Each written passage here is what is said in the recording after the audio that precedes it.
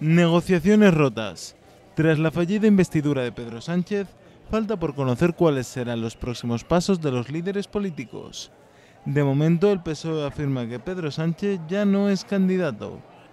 Ya no es candidato Pedro Sánchez. Ahora se abre el proceso que establece el artículo 99 de la Constitución y Pedro Sánchez ya no es el candidato. Por su parte, desde Podemos mantienen la mano tendida para negociar un posible acuerdo que evite unas segundas elecciones. Bueno, nosotros tenemos la mano tendida y estamos disponibles para negociar. Eh, lo hemos estado siempre y lo vamos a seguir estando. Entre el resto de partidos que han votado abstención, destacan que intentarán fomentar un acuerdo. Algunos haremos todo lo posible para, para intentar fomentar pues, un diálogo, una negociación, un, un acuerdo.